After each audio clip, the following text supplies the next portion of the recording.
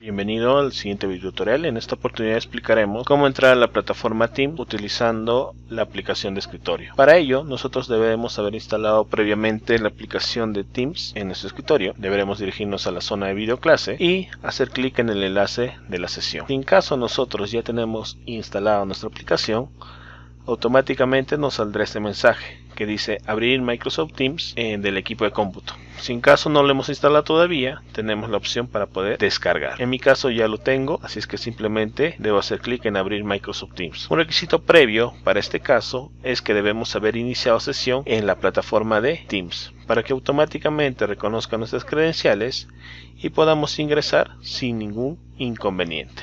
Nos saldrá estas opciones de configuración, tanto ya sea para el micrófono, ya sea para la parte de el equipo directamente y podemos unirnos directamente a la propia plataforma. Se recomienda tener el micrófono desactivado para evitar interrupciones en cuanto al audio. También tenemos la opción de configuración de la cámara que podemos activar o desactivar y agregar eh, otras configuraciones adicionales.